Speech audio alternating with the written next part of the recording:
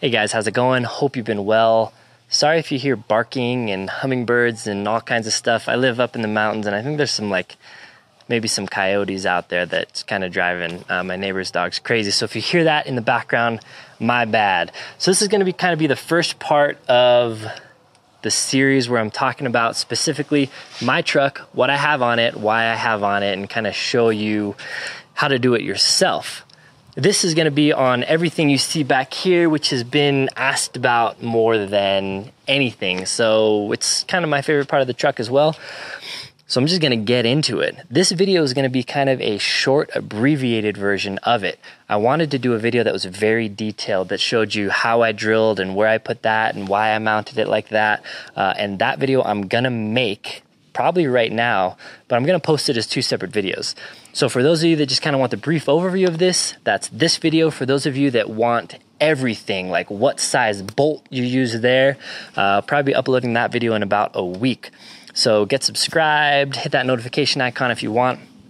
One other thing I did want to mention that so the foundation, literally the foundation of this whole system, is the uh, Diamondback truck cover, which if you've followed me for a while, you know I'm a big fan of it, not just for overlanding. I've kind of adopted it for overlanding use, but I'm just a fan of it for secure storage in my truck bed. So guns or whatever I leave back there if I go for training or something like that.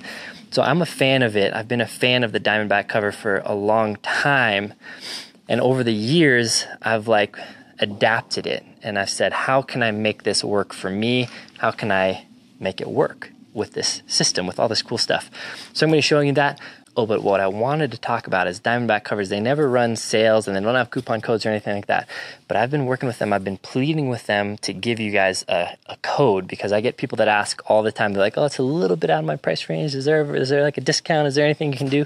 Um, it's nothing is confirmed yet, but by the time I launch the other full video of this in about a week, I will have details and what I think tentatively is going to happen and keep this on the down low maybe because they really only wanted it to be for my subscribers they're going to give me a discount code or a discount link or something that's going to be temporary. It's going to be for like 72 hours or over the weekend or something.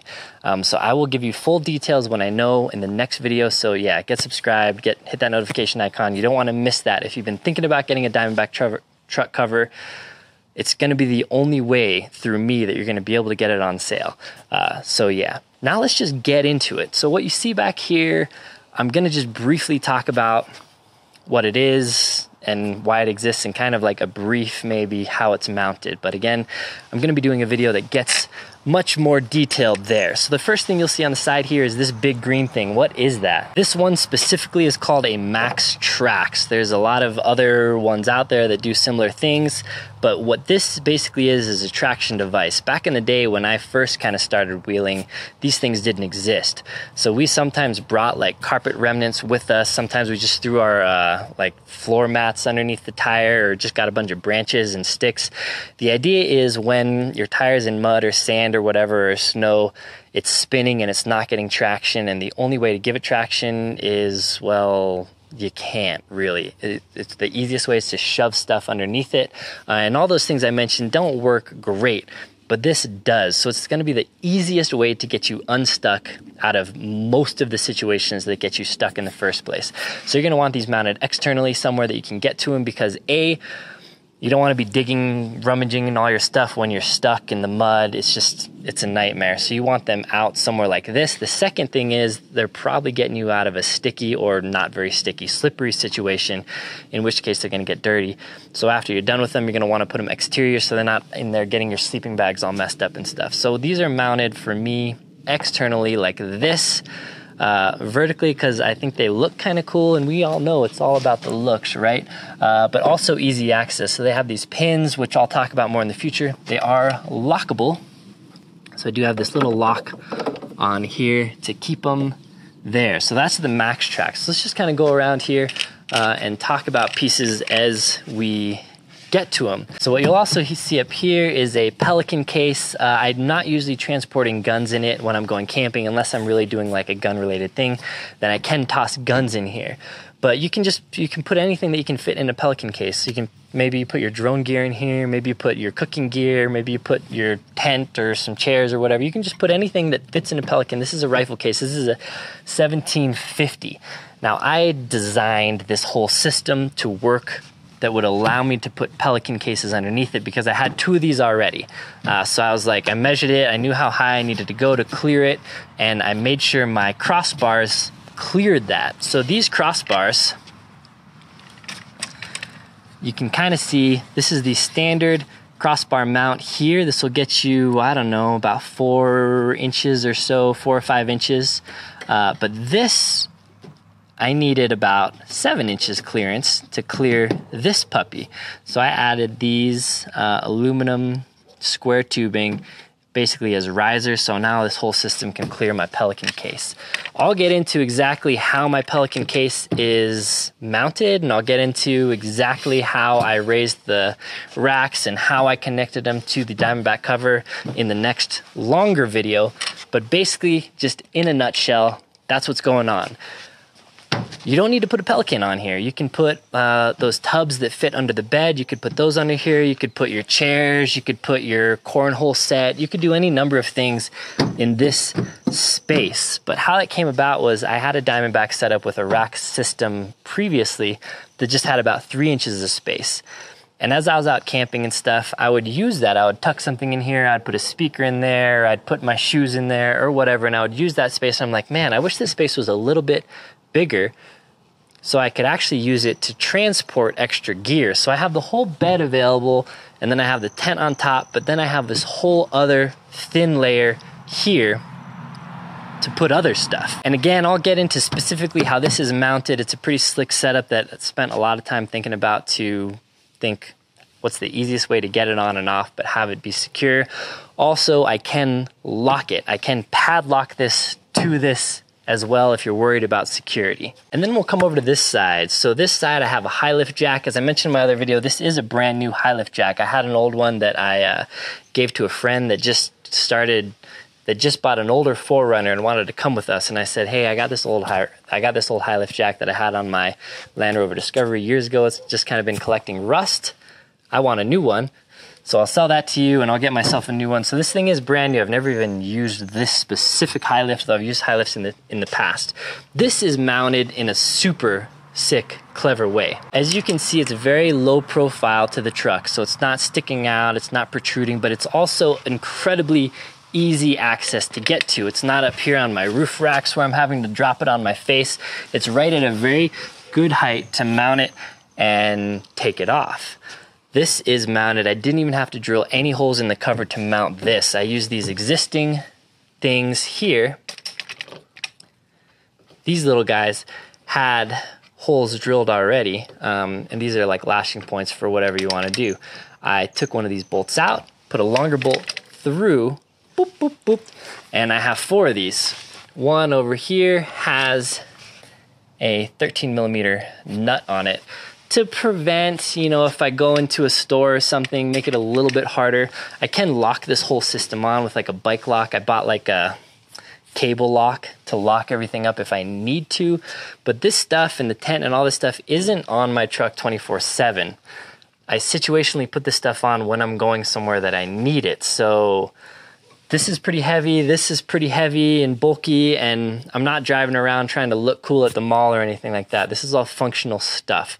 So I want it to be easily mountable and easily taken off. So I actually have a pulley system for my rooftop tent that I can just drop it on and off in a couple of minutes.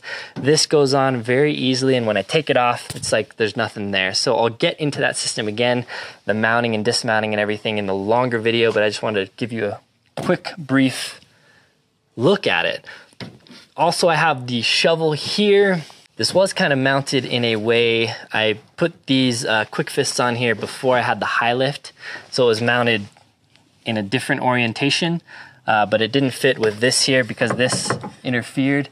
So I kind of reworked the setup, setup with this Velcro strap to work with the Quickfist. So I might change that setup at some point in the future, but I'll show that. These are just drilled through uh, the tower and that's the whole system, man. That's that's the whole system on top.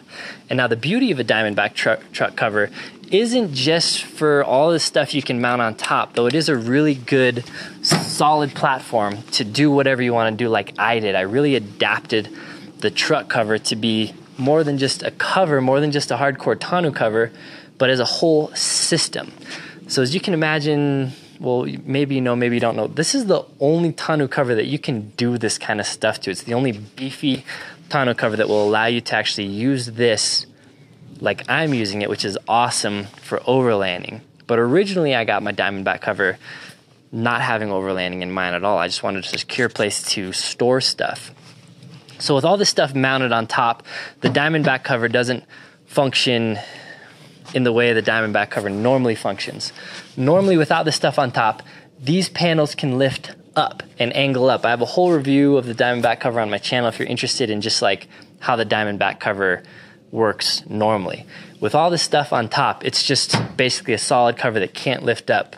Obviously, as you can as you can see, it can't lift up because it's got all this stuff bolted to it. Normally it can, but the beauty of that is this is not my normal setup.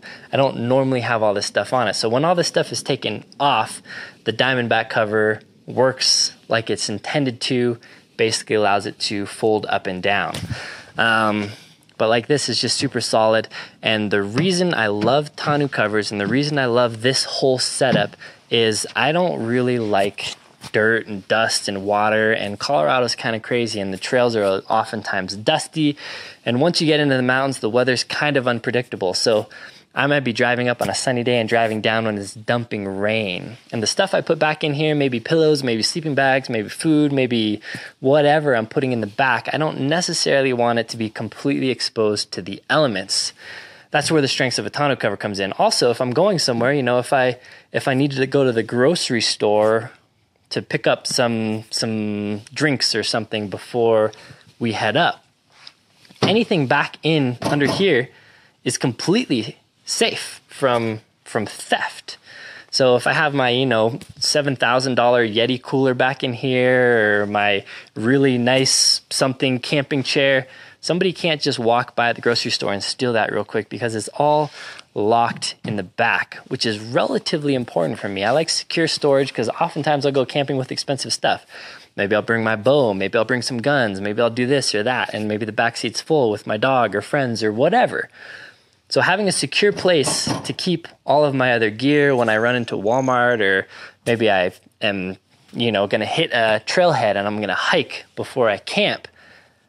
I don't like my bed being open. And that's that's something that's kind of I don't feel like it should be specific to me, but it's an area that I really feel is lacking in overlanding truck setups. They just have these open beds with all kinds of valuable items back there. And I kind of wonder to myself, like, yeah, these are cool for taking pictures of, but like, what what do you what are you doing when you're at a store with all that stuff in the back?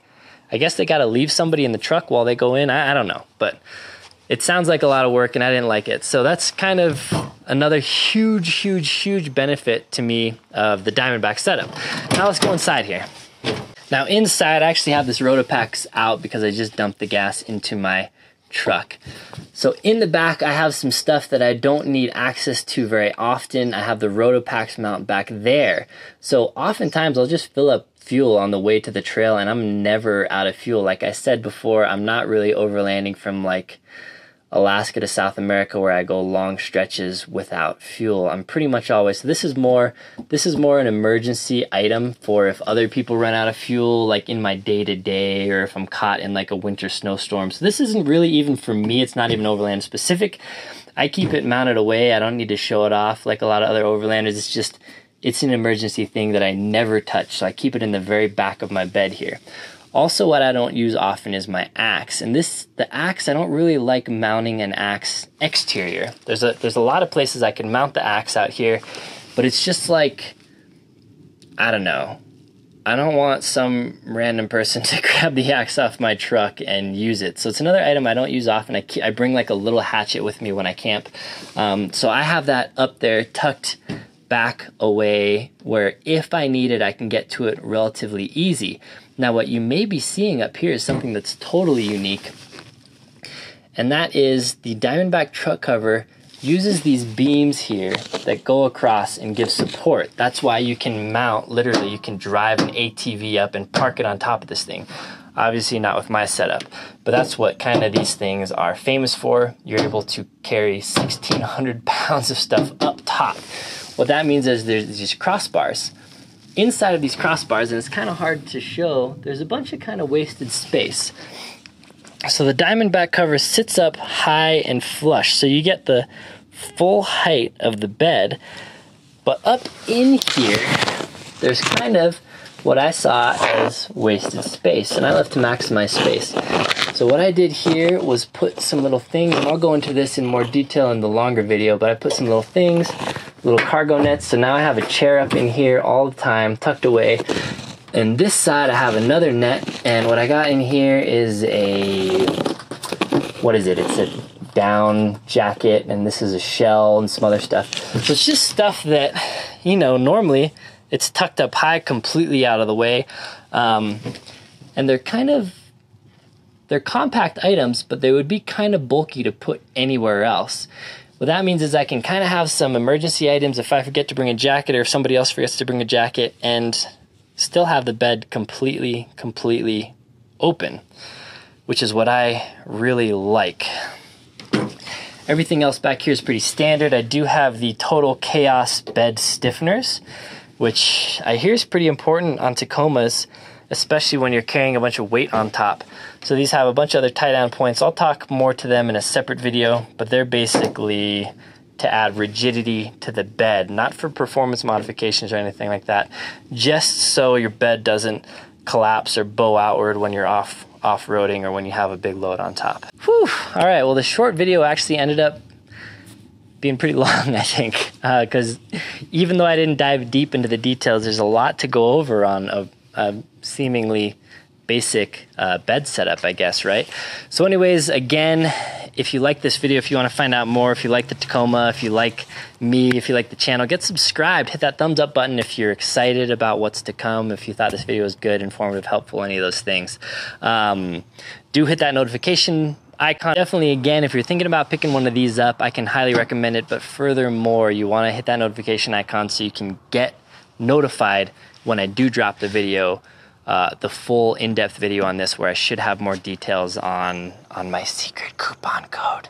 All right, guys, that's it for now. As always, comment down below. Let me know if you have questions or anything like that. The links for all of this stuff will be down below. Some of them are affiliate links. So, what that means, if you don't know what that means, is that I get a small percentage of the sale if you buy something with one of my links. It costs you literally no more. It's easy, it's right there for you, and it helps me put out absolutely free videos for you guys. So I definitely appreciate you using those links below. I always have links in all my videos to all my stuff.